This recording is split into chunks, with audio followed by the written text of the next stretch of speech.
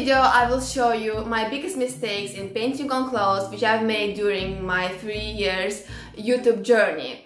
Uh, yes, I've been making videos on YouTube for three years and I have on my channel near 200 videos and most of my videos are painting on clothes videos, process videos so as you can understand I made a lot of clothes and some clothes I keep to myself, I'm wearing them on a daily basis. Some clothes I gift, some clothes I sell, but still I have so many clothes at home which I'm just keeping uh, with the thought that one day I will sell them to my fans or to people who appreciate my art. Uh, so recently I decided to take a look at clothes which I have at home to understand like which clothes I want to keep, which clothes I want to sell and I found clothes which I made during the first year of my YouTube journey. And looking at them, I understood that during these three years, not only I've grown so much as a YouTube creator, but also I've grown so much as an artist, as a designer, as a clothes customizer, because I saw a lot of mistakes which I've made and in this video I want to show you those mistakes and I want to discuss with you those mistakes. I'm Daria and welcome back to Art Fashion channel.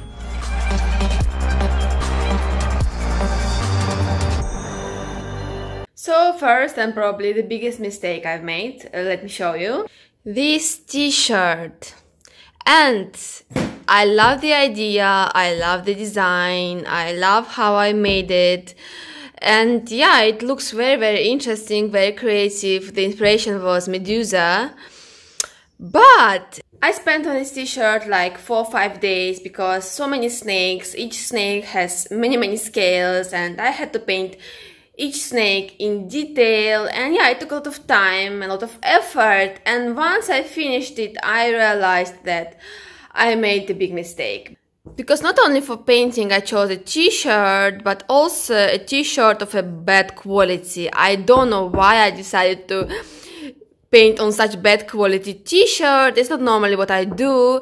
But now I understand that I spent so much time on painting this design and yeah, it will survive many washings. Like I'm sure about like paints, about the quality of fabric paints, but I'm not sure that this t-shirt will survive many washings. I think that it will be ruined just after a couple of washings. So my first advice for all the beginners and for all the people who want to paint on their clothes, for sure you can paint on t-shirts and I always encourage people to paint on t-shirts because not only denim jackets are great for customization, but all kind of clothes and hand-painted t-shirts look so cool.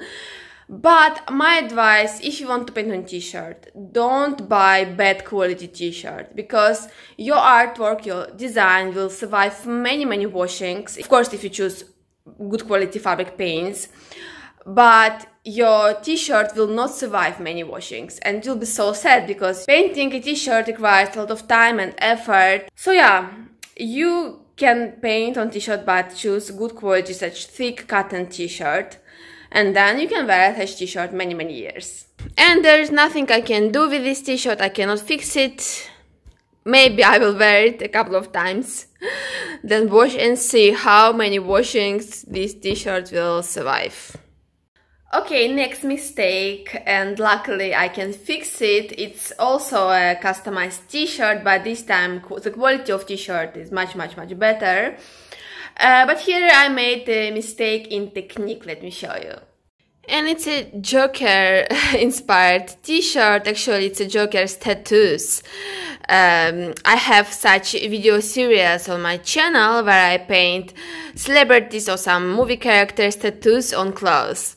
Yeah, very fun video series I have on my channel. So what is the problem here? Background and paint splatters. And first let's talk about background. Um, I used to make background like that. I was taking such uh, flat brush, I was removing excess of paint. And with such dry brush I was such slightly touching a fabric. And you see paint is staying on the surface. And it didn't connect with fabric. And actually there is not enough paint you know to connect with fabric so uh, probably after first washing and I didn't wash a t-shirt, I was keeping it, uh, this background will disappear. So yeah, I need to fix it. I need to apply more paint and to make it in different technique for this background to become durable, to become waterproof, you know. So yeah, it's very important for uh, paint to connect with fabric or if you want to create such fading effect with a little amount of paint you can use water. And water will help your paint to connect with fabric. So yeah making such fading effect with dry brush was a big mistake. And also you see these paint splatters i used to make them like that. I was again taking flat brush very dry brush such hard brush and i was splattering such way and you see the paint splatters are so small there is no enough energy in them. So yeah i will fix these paint splatters too. So yeah let's fix this t-shirt. So what is the right technique for background? Uh, don't remove excess of paint use paint. And then wrap paint into fabric because it's important for paint to connect with fabric and such way fabric paint will become water resistant. I don't know why I was trying to create such nearly invisible background. Uh, now I love to create such bold backgrounds with such bold strokes. This is definitely my aesthetic now.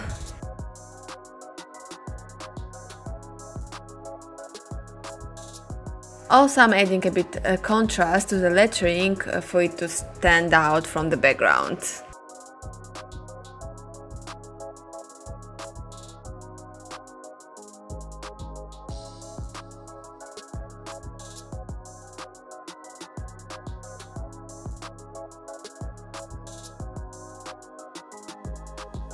And how to make paint splatters with an energy, just throw paint with all your energy.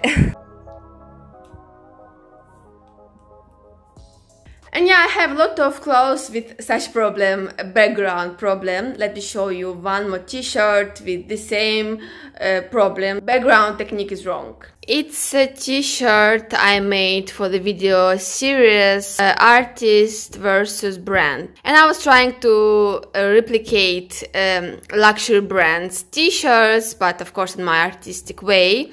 And uh, this t-shirt is kind of inspired by the brand Off-White. And again, the problem is background. Here you see, again, not enough paint, paint didn't connect with fabric and it just staying on the surface and won't survive. And also I want to to make it a bit to add a bit contrast for example here I want to add a bit more black color yeah, I think that now I am able to make this t-shirt a bit more beautiful, artistically beautiful. It's one of my biggest dreams to visit New York and I planned to wear this t-shirt to my first trip there. So I have to fix it to make it washing resistant and more beautiful. And you know, looking at my old uh, painted t-shirts, I feel that I wasn't very confident in my technique, in my strokes it, it was like I was afraid, you know, to make some move with brush, to apply paint. But now, after many years of practicing, I am much more confident and I feel it that I am able to create such very bold strokes. I don't afraid to apply paint. I know how to apply it. I know how to make a design uh, eye-catching. Yeah, it's just about practice, you know, just the more you practice, the more confidence you get. And you know, I remember how I was painting this t-shirt. It was probably the first time uh, of me painting such statue on clothes and I was freaking out and I can definitely see this fear when I'm looking at this uh, artwork. I see that I was so scared yeah, you can feel it just by looking at strokes, just by looking at colors, just by looking at technique, you can see, like, you can understand that this person was scared. But now, look at me. The fear has gone.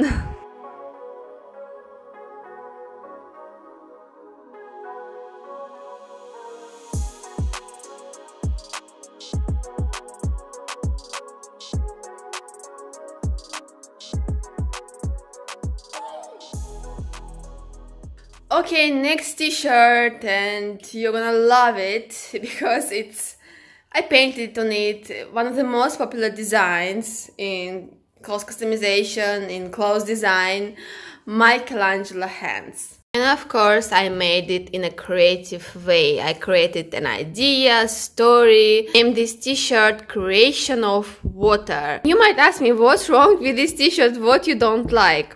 Well, here I don't like lava cracks and in my previous video I showed how to create lava cracks and I created such beautiful light near cracks and this light made them shine. And yeah I want to create such shine here too. And probably yeah I don't like these paint splatters as well. Let's fix them too so how to create shine of the crack by applying red color near the crack and blending it out. And just such small detail as light near cracks, but it creates so beautiful effect, like you can feel the heat of the lava. So yeah, if you want to create lava cracks, you should definitely create such shine near them.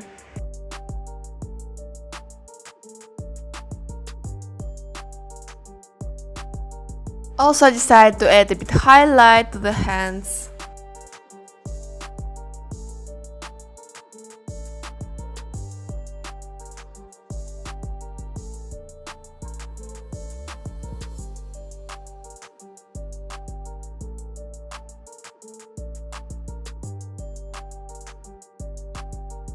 and paint splatters.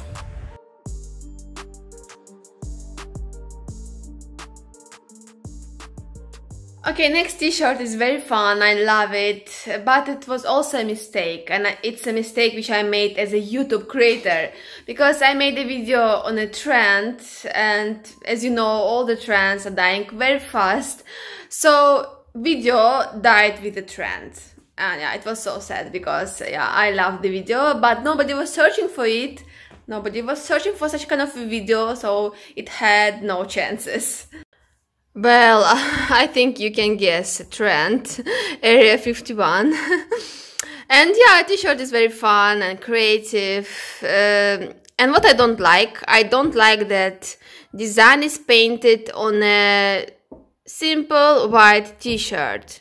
So I want to dye it. I want to tie-dye it. I'm not sure will dye affect an artwork, but I want to try because I think the tie-dye will make this t-shirt more interesting, like funnier. Uh, probably this t-shirt doesn't require tie-dye, I know, but I just want to try, I just want to see how it will look with such tie-dye effect.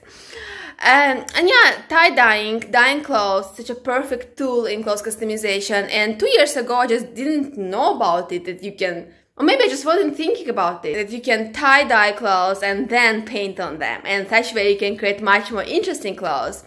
And now I know it, and now I use this possibility, and I am able to create much, much more interesting and fun clothes.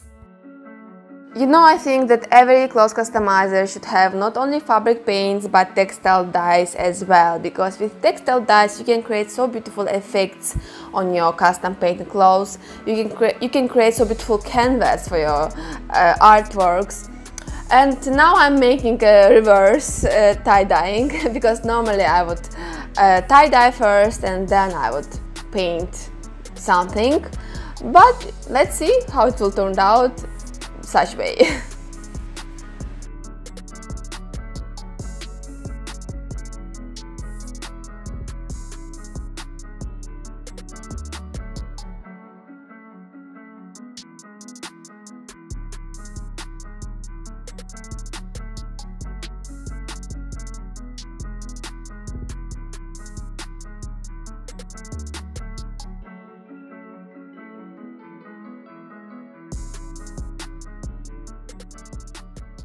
Okay, next t-shirt I made for a video and the video was very strange.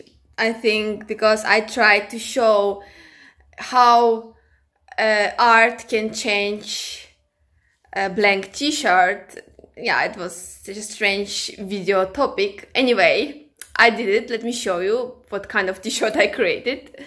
And as you can see, I painted just one side of the t-shirt and other side is blank and Actually, it looks interesting, you know, but of course you can't understand like what artist try to say, what designer try to say.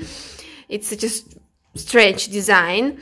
Uh, and here again you, you, can see problems with background, with paint splatters and first of all I want to fix background and, and paint splatters and then I want to create some idea.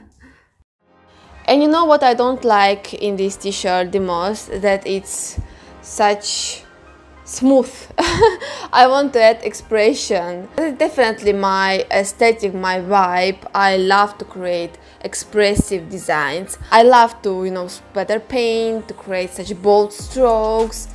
I want it to look like it's definitely hand painted because as I already said in my previous videos, there are so many perfectly printed clothes out there so I want to create something which you can't find anywhere. Something so different, something with an energy, with an energy of an artist, with an energy of hand and brush. Uh, so yeah, that is definitely what I love to create because printing machine is not able to create such energy. And of course, to create such expressive designs, you should be a bit more confident and probably I wasn't so much confident uh, two years ago, but now I feel that, yeah, nothing can stop me. so the idea of the design is gonna be butterfly effect. uh, you know, I love to create designs with an idea because I think that such way I'm able to create a bit more meaningful clothes. So yeah, it can be some clear idea or maybe some clear aesthetic or some clear style, but something which gives some vibes, you know. Well, as you can notice, most of my problems are with the t-shirts because I used to paint a lot of t-shirts, especially for this YouTube channel because t-shirts are more affordable and just recently I've started to earn some money with this YouTube channel. Uh, but I found one hoodie with the problem in technique, let me show you. Here is the hoodie and I love design. It's so interesting, so beautiful. Birds, skulls. and yeah, as you can see again, like you can already guess that here I used dry brush technique. And you see here I tried to create background, but I didn't use paint, like what is it? and it stays on the surface, it didn't connect in any way with fabric, so like how it will survive washing if it didn't connect with fabric. So yeah, I need to I need to fix backgrounds because this hoodie is so beautiful.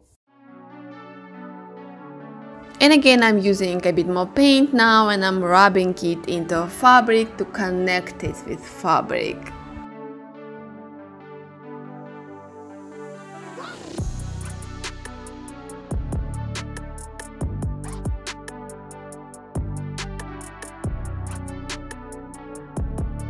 Paint splatters